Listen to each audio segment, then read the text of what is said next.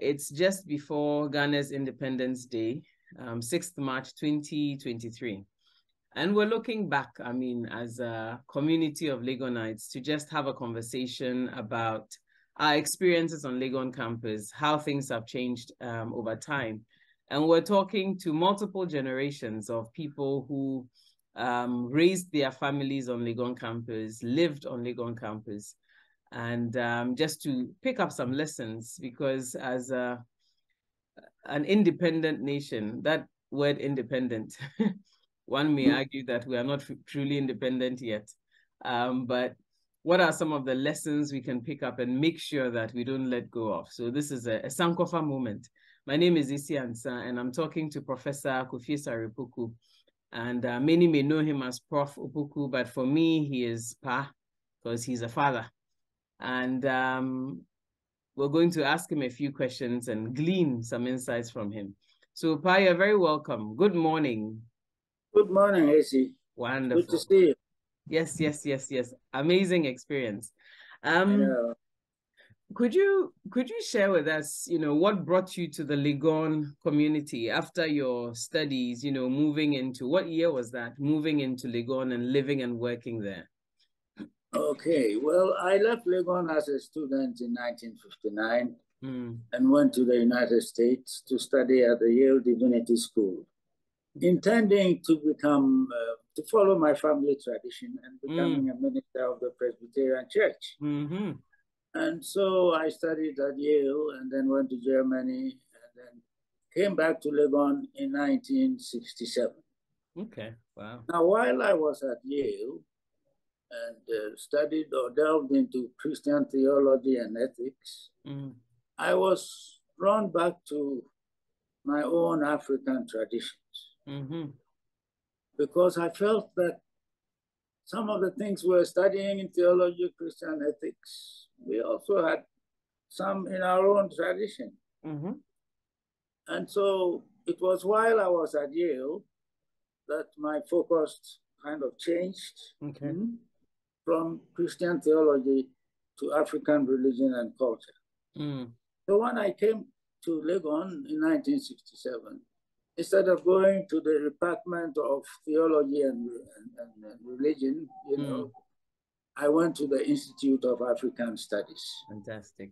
And became a research fellow in religion and ethics. Okay. Mm. My decision was based on the Akan proverb,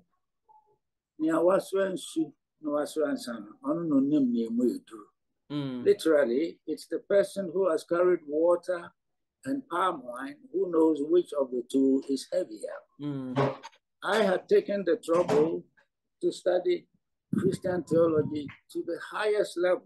Mm. And I mm. had been to the Mecca of Christian theology, which mm. is Germany. I studied okay. at the University of Bonn, studying theology and ethics for, for one year and a half. Okay. And so I went to the Institute as a research fellow in religion and ethics. And I think that is where my real learning began. Okay. Because doing research, traveling to all kinds of places, witnessing ceremonies and interviewing elderly people, mm. both at the shrines, okay. because the shrines contain a lot of cultural knowledge that mm. we hmm. need to have. Mm spending time with our kung fu and you know people wondered what had happened to me because mm. my family was my grandfather was the first African to be ordained by the Presbyterian Church in hmm. September mm. 1st on September 1st 1872 wow my father was also a minister so I was going to be the third generation Opoku minister in the Presbyterian Church Mm. But when I came back, I had turned into something they could not figure out. but I knew what I was doing. Wow. And um, working at the Institute as a research fellow in religion and ethics enabled me to travel around and acquire a lot of knowledge. Mm. My language improved. I learned a lot of proverbs and came to understand our culture. And in fact, I think that I never studied, I spent, I went to school from 1940 to 1959. Mm. And I didn't learn anything compared to what I learned as a mm. research fellow in religion and ethics. And that's what has made me who I am. Okay. I Okay, so so, hmm. so this brought you to Legon in 1967. 1967, yeah. Okay. And um, your time on Legon campus, when did you retire and then leave the Legon community? I retired in 1994. Okay. Okay. I retired in 1994 and went to the US. Okay. So if you're to look at the journey between 1967 and 1994, mm-hmm. what are what would you make what would you identify as two of your one or two most memorable experiences on campus? And then I would follow that up with the evolution between 1967 when you went there as a fresh lecturer um, all the way through till you were leaving um, the, the, the campus community? Mm. Well, my experiences as I entered the community mm. were that I found a community that was caring. I got mm. to know so many people. We became mm. family.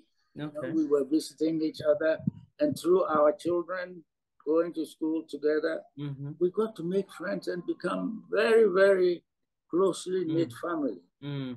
I mean, I in my own experience, I performed outdooring ceremonies for for people. I would even mention, since you mentioned uh, Professor Akosua Perbi, when Akosua Perbi was being customarily engaged. You know, mm. I was, Professor Nketia called me to perform the ceremony. I was the man, one who, who ah, did everything, you I know. See. And uh, so I know Akosua's uh, married, married life from the beginning, you know.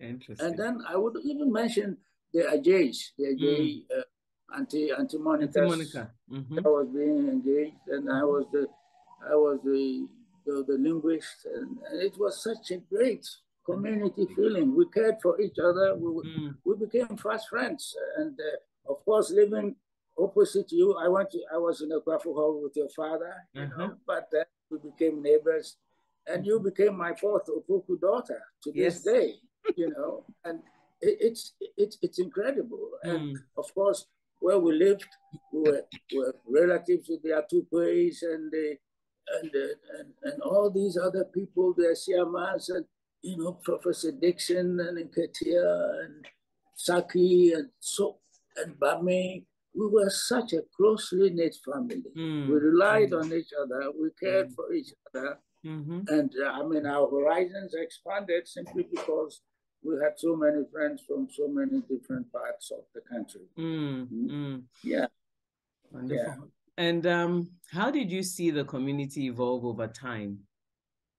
Well, over time, by the time I was leaving, somehow um, things were slightly changing mm. because, um, you know, some, some of the people had retired before I left, mm. and some younger people had come and and the generational difference, you know, mm-hmm. affected my my my experience in the community. I didn't mm know the younger ones as mm much as I did the older ones, mm-hmm. and um, the children. It was especially our children who mm-hmm. really uh, were the link mm. and who mm. brought the family feeling closely together to mm-hmm. this to this day. Mm. And uh, the change was also noticeable even among students. Mm-hmm. Interesting. In, in our time, we could sit and have dinners and uh, have after dinner conversations. On Sundays, they would bring special people to high table for dinner, and then after dinner, we would go to the garden and have conversations with them. Mm. I hmm. mean, it was during such Sunday evening dinners that I met some of the great politicians of the time, Gbedemah, J.B. Danquah, mm. and we had intimate conversations with them. Okay. And those experiences expanded my horizons. I got mm. to hmm. know some of the leaders of the country coming mm. to Legon. But by the time we were leaving, you couldn't even hold a dinner with the students. Mm. You know, they couldn't even sit and, hmm. and, listen to after dinner talks. And you could hmm. see that the culture was changing. And this had also affected, this had also affected the, the, the, the families. And, mm-hmm. And of course, today you go to Legon and it's like Makola, you know. you, you, so many people, you can't even count them, you uh-huh. know, rubbing mm-hmm. against each other everywhere mm. you turn. Uh-huh. Yeah. And then, of course, I must talk, also mention that, you know, the, the, the community, the, the campus was very clean mm. and orderly. Mm-hmm. And I'll tell you one story. There was a barber mm-hmm. who was working at Legon, and I used to go to him. And he was from Adukrom. Okay. And he told me that he first came to Legon in 1958. Okay. And he walked into Legon from the main entrance, you know, and when he got there, he said in Cree, he had me a he, was so impressed by the place uh-huh. that he even have opted for working without pay mm-hmm. because the place was so beautiful and orderly. Yeah. And I think, you see, the, the, the orderliness of mm. the campus, the entire campus, mm. had an impact on us too. Okay. Because when you compare the conditions in, in, our days to what you find now, mm. the place has changed so much. Mm-hmm. Mm-hmm. And you, you can tell that the, the, the, the, the inner spirit, the inner mm-hmm. thinking, mm-hmm. you know, of the, mm. of the people there is reflected in the outward disorganization and filth and confusion that you find. Mm-hmm. Legon is not as clean as it used to be, it unfortunately. To be, yeah. And I think that something needs to be done mm-hmm. about it. Mm-hmm. And of mm-hmm. course, it's not only Legon, the whole country. You know? mm-hmm. That's very true. Particular attention to our surroundings. Yeah. You know, because mm-hmm. your surroundings impact you. And the importance of the surroundings is that if you live in beautiful surroundings, mm-hmm. flowers, nature, orderly, you are always inspired. Mm. But if you live in surroundings like what we see now, mm-hmm. you know, the Fante would say, well, you know, you, you, your spirits are lowered. lowered you know? Yeah. And we would not admit that we are, we are not uninspired people. But mm. Mm. If we were uninspired people, we wouldn't live, we wouldn't accept living in surroundings like this. Mm. And the mm. surroundings on the campus in our day were such that, you know, it harmonized with our inner spirit and we mm. all grew into, into decent human beings. And what I find amazing is mm. that our little children who are going to school and back and forth, see what has become of them. I mean, mm. who would have thought that a few years after after we have left, you know, our children will be going to America to school. Somewhere she would go and get a PhD. I mean, she was a little girl who was an Opoku, spent all his all her time with Opoku. Yes. for the age you know. And I wonder if these things are still mm. uh, being experienced on the campus. But uh-huh. I mean, we look for back to the campus. I talk to my children a lot. We mm. reminisce about what we call the good old days, you know, mm-hmm. the passion for learning. Mm-hmm. I mean, the, the teachers in the primary school, they cared yes. for the children, you yes. know. Mrs. Yes. Booker would teach my girls English and, you know, they would, yeah. you know, and go on. And, mm-hmm. and the, the, I wonder if it's still there these days. But when I go to Legon now, of course, I don't know anybody. I'm at yeah. house. And I look it's... at them and nod my head. One of the things that I experience when I go back to campus is you know, back in the day, I don't know whether it's because our parents came in cohorts. And so their children tended to be around the same age. And so mm. you would find the peers, you know, just literally all over campus, you find young people walking around, etc. Now, when you get to Legon campus, especially the Lower Hill, Little Legon, um, Legon Hill, you find very quiet communities, no sight or sound of children. Um, mm. The presumption is that they are indoors, maybe on video games, reading, or maybe you have younger, younger people who are living on campus with, you know, mm. very little children who may not be able to, you know, wander around like we did. But it's one of the very marked differences I notice when I get when I get onto campus these days. Mm. Yeah.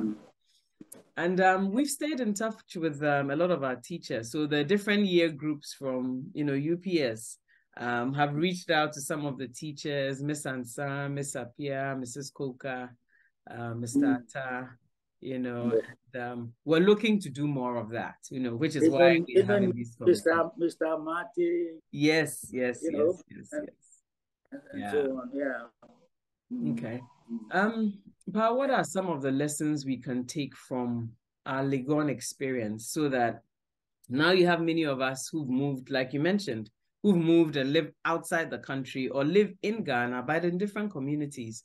The very sheltered, very structured environment that we grew up, grew up in or that you raised your children in um, may not be what we are used to living in now.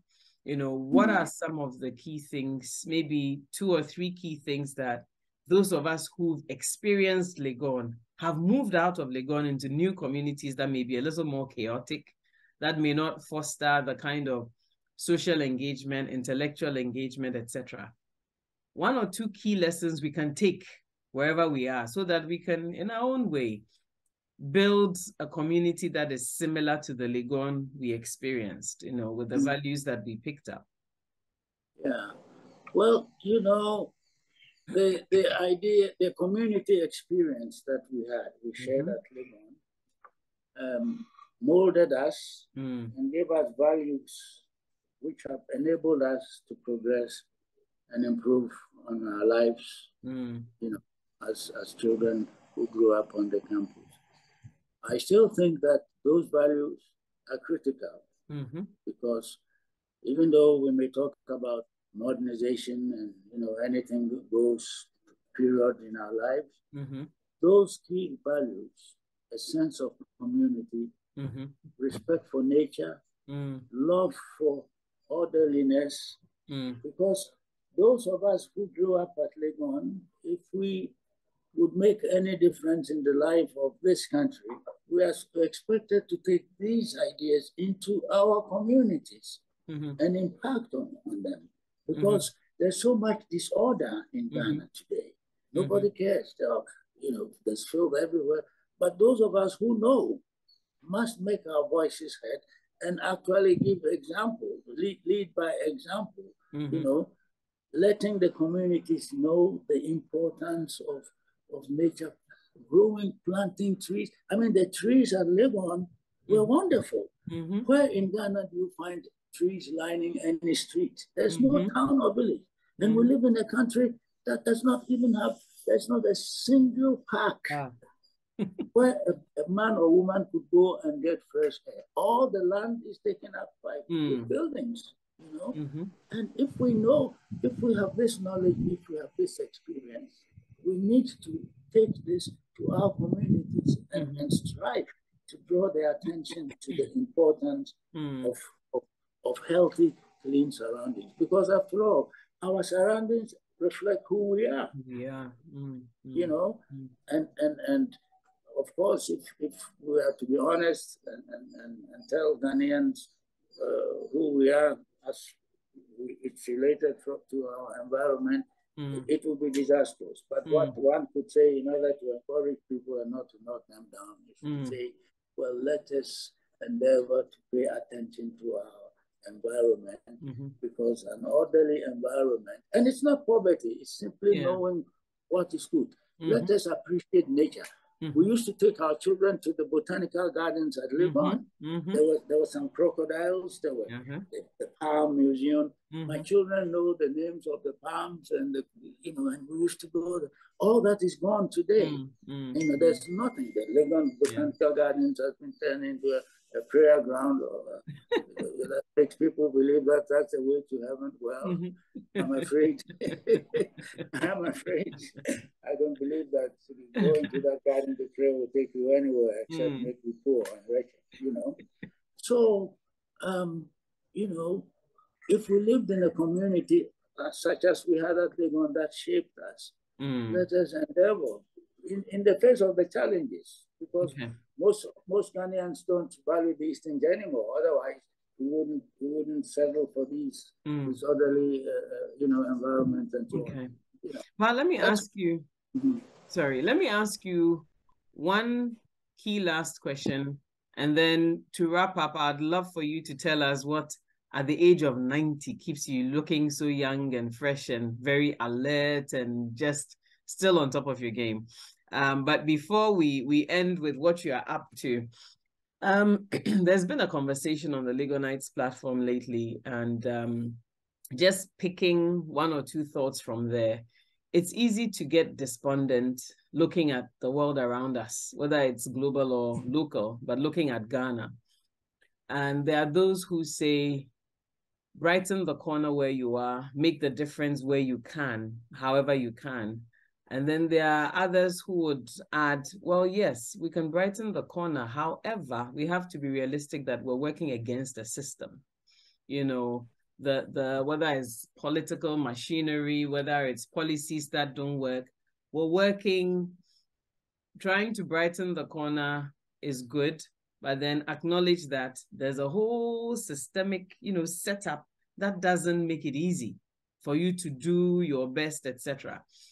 In mm. today's Ghana, where many of us are despondent, um, absolutely disappointed with the kind of governance we see around us, etc. What does a Ghanaian citizen do? What mm. does a Legonite who's seen a good, you know, um, or experienced good sense of community, etc. What do we do in Ghana today, 2023? We're, we're turning, uh, what is it, 66 um, tomorrow.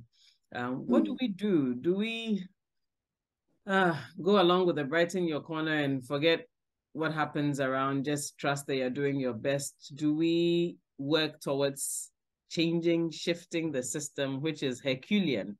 And in all hmm. these years, we haven't seen any major systemic shifts. What do we do besides yeah. throwing our hands up in the air? Yeah what, what we need to do is not to, um, you know, become despondent or lose mm. our optimism. Mm. There is still a great future ahead of us, and it rests on us. Mm. Now, brightening the corner means simply that those who believe that they can brighten the corner where they, they are mm-hmm. must get together. Mm. You see, it's like-minded people mm-hmm. banding together who can eventually create the kind of situation that will bring the change that we need in that. Mm. Now, uh, you know, I must say that most of us today in Ghana are more interested in, in, in religion. You know, religion plays mm. too much a role in our lives. Mm. And, and, and, and that, that should, because when we're growing up, you know, it, it wasn't like this. I mean, mm-hmm. people going to church every time of the day, mm-hmm. Jesus speaking in tongues and so on. We must abandon that. We, we must set time to pray and go to church, but we can't. We shouldn't spend six hours going to church mm-hmm. while other people. I mean, I asked people, the Europeans in Accra on Sundays, where are they? Are they in church? Are they at the beach? They, they come to my forests to take mm-hmm. pictures of the trees and study the butterflies. Mm-hmm. Which of us goes hunting, goes uh, bird watching. Mm-hmm. Who knows the name of a single tree mm-hmm. or mm-hmm. bird? Are we interested? Well, we should be interested. Mm-hmm. All this is part of the development of the country, mm-hmm. you know. But finally, I mean, people must band together. This system needs to be changed. The two-party mm-hmm. system and so on that we have borrowed. We must we must come up with an authentic system mm. that that is our own.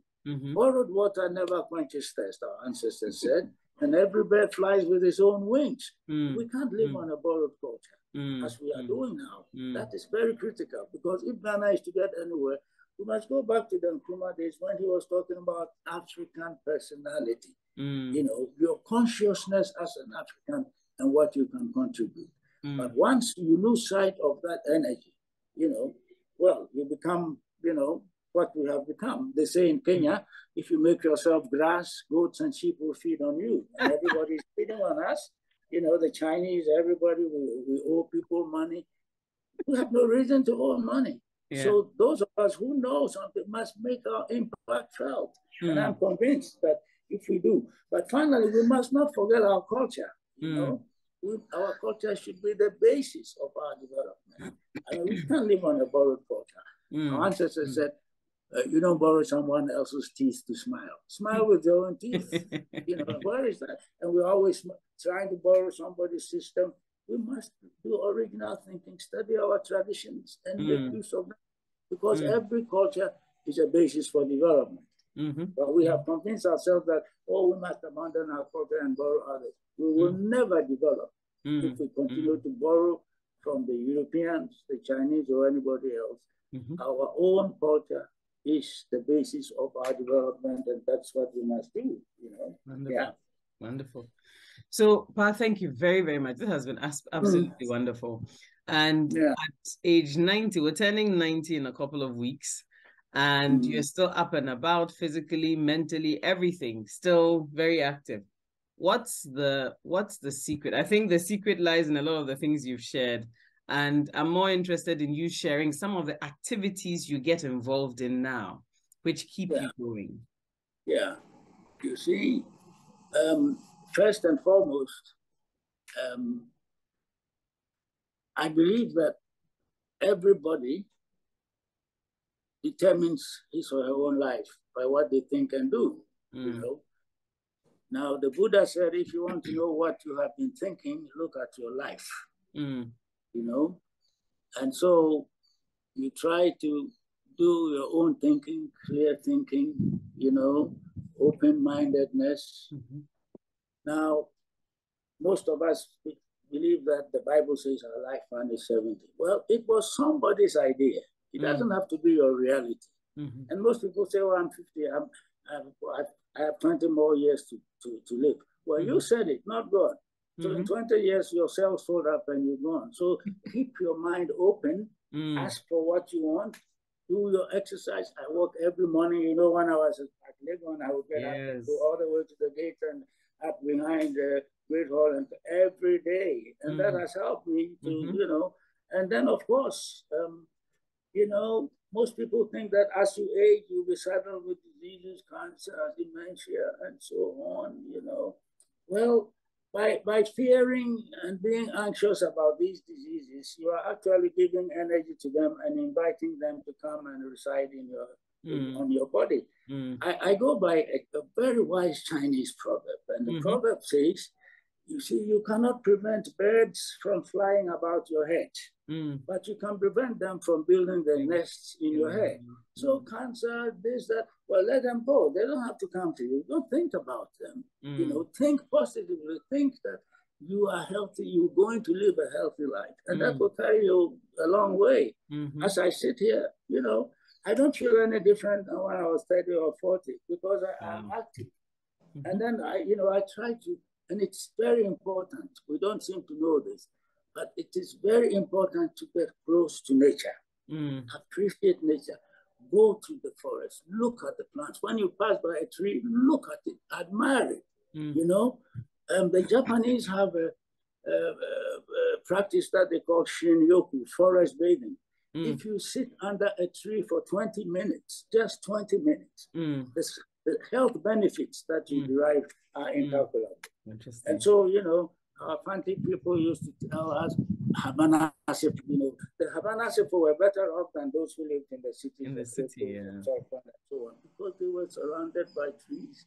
And so we must lead a movement of planting trees along our, our, our streets. In 19, mm. in 2012, I wrote an article about Farmers' Day in Ghana, and I suggested that instead of spending vast sums of money buying houses and pickup trucks as presents to best farmers, mm. let's put all this money together and buy seedlings and let's mm-hmm. plant them along our streets that mm-hmm. are distressingly bare. Mm. And, and, and mm. then instead of celebrating um, Farmers' Day on in December, Mm-hmm. You know, our ancestors called December Openima, the beginning of the dry season. Let's push it to mm-hmm. the end of April, May, mm-hmm. and, and then during the rainy season, by the mm-hmm. time the rain stops, stop whatever we have planted will have, you know, taken root and, and, and, and wow. germinate.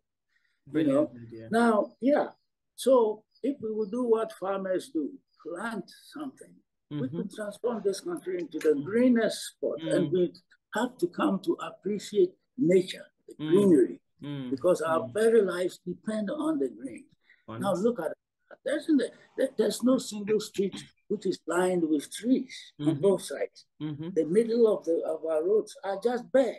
Yeah. Whereas we could plant palms and and, and neem trees mm-hmm. everywhere, mm. and Ghana will become a, a paradise. But mm. at the mm. moment, we've turned Ghana into a desert. Yeah. You know, and that doesn't speak well of us. Wow. So wow. keep an open mind, mm-hmm. you know, and believe that um, you know you can live as long as you want. Don't expect all these diseases. Mm-hmm. Let them like birds fly about your head. They don't mm-hmm. have to reside in you, you know. Mm-hmm. And if you do this, I'm sure, you know, there are other secrets that I only share with close friends. so but at least in the main, you know, mm. these mm. ideas, abandon the idea that, oh, my mm. lifetime is 70. No, mm. you can live longer than that, mm. you know. Mm. And why shouldn't you? Huh? And then what you need to do is to believe in yourself. Mm-hmm. We are no less than anybody. Yeah. You see, if according to the Akan, see what's your what's your what day what day of the week were you born? Sunday. Sunday. See, oh yeah, sure, I forgot. Yeah, AC, you know, now, AC, when you mention AC, you know, you have actually mentioned God because AC is your kradin, not mm-hmm. the day of the week on which mm-hmm. you were mm, born. That mm-hmm. is Sunday. Mm. But we call it kradin, the name of the okra, the name of the part of God in you. Mm. Now, so according to our ancestors, God is in every. We didn't have to wait for the Europeans to come and bring the Bible. No, we knew mm. this long ago mm. that your kradin, you know, means that your personhood or your identity is, mm. is grounded in God. Okredin. Mm. Mm-hmm. You see, that is the name of your okra. Mm. That's why the Akans could say, I will die only if God dies. God does not die. So let the knowledge, your awareness of the fact that you have an okra, you know, propel you. You are no mm. less, you are not inferior to anybody. Mm. How can the God in you be inferior to the God in me. It doesn't mm. make sense. But the Europeans have fabricated this racist theory. And, and of course, if you recite a lie over and over again, you know, it becomes a truth. And, and this, we tend to believe that we don't have to believe this because mm. there's absolutely nothing wrong with us. We mm. are the same as, and, and we can do anything anybody has done. Mm. Absolutely. Mm. So once we have this confidence, you know, that we are no less than anybody. Mm-hmm. We can actually propel ourselves.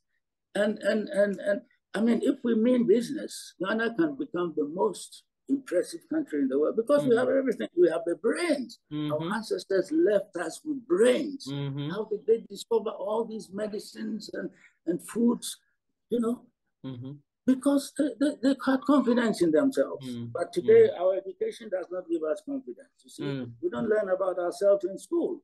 Huh? Yeah. We go from nursery school to you know, and we don't we don't know who we are. We don't mm-hmm. learn about ourselves. But mm-hmm. self knowledge is the basis of all knowledge. Self knowledge mm-hmm. gives you confidence, and confidence is the basis of every achievement that a, a human being can make during their lives. Mm. So this is what we need to do: have confidence in ourselves. Not we're not lacking in anything, so we don't have to accept. Oh, Ghana is a poor country. No, Ghana is not a poor country. Ghana mm. is, is one of the richest countries in the world, except that those who live in Ghana are not even aware of the wealth and, and, and the richness oh, that have. The Hausa, I leave you with the Hausa problem. Okay. The Hausa say that ignorance, see, mm-hmm. because mm-hmm. it's ignorance that has brought us to where we are now. Mm-hmm. Ignorance mm-hmm. makes the chicken go to sleep on an empty stomach, mm-hmm. standing on a bag of corn. If only the chicken knew that it was standing on a bag of corn, mm-hmm. it would stay awake and eat, but it went to bed on an empty stomach. Mm-hmm. We have to become aware of the riches, the mm-hmm. rich culture that our ancestors left us and be proud of it and use it instead of mm. being ashamed and put it into the side. And we must stop going to church on Sunday and sing, Yenananum Dawasum we mm-hmm. sing our ancestors worship trees and stones, and we mm-hmm. worship trees. Mm-hmm. Singing in church to insult your ancestors, and we mm. think we have found salvation in mm. Christ. Mm. This is our downfall. We need to appreciate our mm-hmm. culture. It has immense value. Okay. Nobody has the kind of culture that we have in Ghana, and we are the ones to be proud of it. You saw recently the British Prime Minister, an Indian, performing Hindu rituals I couldn't imagine a Ghanaian president even pouring water on the ground. The Ghanaians would slit his throat. it's forbidden. but you must respect your culture mm. and don't let somebody else interpret your culture for you. Mm. You mm. must interpret your culture yourself. Mm. Okay. Mm. So Fantastic. this is the message. All this will help you to live to be 90. And I wish mm-hmm. everybody will live to be 90 and yes, yes, yes. Thank you so much, Pa. Um, in summary, you've told us what we learn and what we need to take forward is one, the community values. You're mm. asking us to live a holistic life, not to become so fixated on religion to the point of being um, not being productive, spending productive time, um, yeah. you know, on religion. Mm. You're asking mm. us to band together you know, mm. and um, get the like minds together if we want to see any transformation. And for you, staying healthy at 90 really comes with mindset, you know, so mindset, um, walking every morning, being, and I, I remember you walking in your white shorts and your white tees, you know, growing up. And it's amazing to know that you continue that. You have a farm. Um, people do visit Anansi and um, come and see what's going on, learn about insects and you know trees, etc. And so nature, appreciating nature and reconnecting mm. with nature, um, you're mm. telling us keeps us going strong. And ultimately, it's about being authentic as Africans, um, as authentic as we need to be, and um, yeah. not allowing ourselves to be um, influenced um, in ways that don't help us to progress. I hope I've I've summarized um, your thoughts well enough. And if there's one word, just one word you can leave us with to have us think and start reflecting on anything that you've said, one word, what would that one word be in any language? Well, well, I'll say it in, in Twi. Mm-hmm. Obiara Mfa Obiara Mfa Adwen. Three, but I'll, I'll, I'll so take it. You, you, translate that into into whatever language you want. Obiara Mfa Adwen. Wonderful. But thank you so much for making the time for a very wonderful conversation. Um, we'll listen to this, share it, and um, don't be surprised when you have a few more of us knocking on your door, looking to come visit um, the farm and, you know, reconnect with you um, again. Well, I'll be. I'll look forward to having some of you visit the farm yeah. and the forest. Maybe so we should plan an excursion. So we'll talk about it and plan plan a trip to come and see what okay. you've been up to. Fantastic. Okay. Thank you. All right. Thank you so much. Uh, happy. Thank you so much.